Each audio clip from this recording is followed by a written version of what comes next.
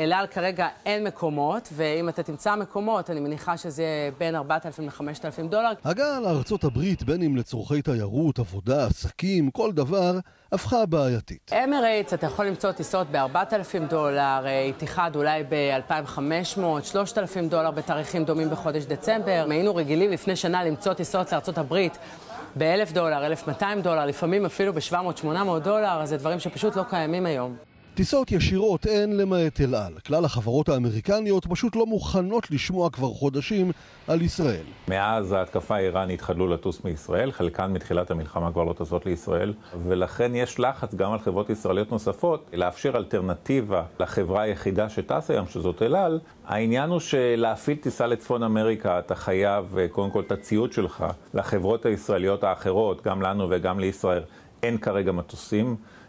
לטיסות כאלה, ולכן צריך להצטייד במהירות, בחכירה רטובה. זה משהו שאנחנו בוחנים. יונייטד ביטלה את הגעתה ללא הגבלת זמן. דלתא האמריקנית אולי תחזור רק באפריל 2025. אמריקן איירליינס, חברת התעופה הגדולה בעולם, כבר הודיעה שתחזור אולי, ובמקרה הטוב, רק באוקטובר, בעוד שנה מהיום. כמו שאנחנו לא יודעים מתי המלחמה הזאת תסתיים ואיך היא תסתיים, אז גם החברות האמריקאיות למעשה לא יודעות ולא רוצות לקחת סיכון, לא יודעות איך לסדר את הסקייג'ואל שלהן, ולכן אנחנו לא רואים איזשהו צפי לחזרה שלהן. אני מקווה ומצפה שככל שנסיים את ה... המלחמה הארורה הזאת מוקדם, אז נראה גם את חברות התעופה חוזרות, ואז באמת יהיה יותר היצע, והמחירים, אני מקווה, ישתנו בהתאם, ויהיה לנו יותר נגישות להגיע לארה"ב, ליעדים רבים, ולא רק היעדים שאליהם אל על מגיעה באופן ישיר.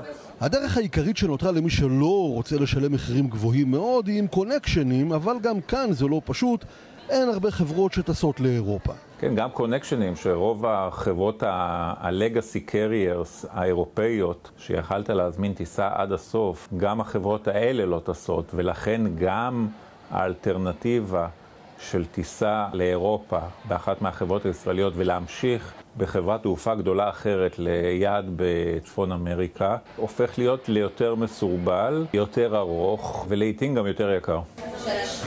זה 750 דולר לאדם. ישראלים רבים טסים דרך האמירויות, בזמן שחברות זרות מבטלות, למשל פליי דובאי עברה היום להפעיל שמונה טיסות ביממה מנתב"ג. גם איתיחד מאבו דאבי מפעילה טיסה יומית, משם רבים ממשיכים ליעדים כמו ניו יורק. היום מצאתי טיסה באמת ב-2500 דולר דרך איתיחד, אבל יש לך המתנה מאוד ארוכה באיתיחד, אז אתה תצטרך לקחת לילה, או אם תשב במלון עדיין אתה תמצא את עצמך אוכל ושותה ותבזבז בטח עוד איזה 200 דולר, אז באו לנול אני לא בטוחה שזה אה, כל כך משתלם, אבל כן, המחירים אה, משמעותית יקרים, בגלל שאין אה, הרבה זמינות. לא ברור מתי נראה את החברות האמריקניות חוזרות לישראל, מה שבטוח שגם בשנה הקרובה מחירי אמריקה יהיו גבוהים וארצות הברית תישאר רחוקה מאיתנו הרבה יותר מתמיד.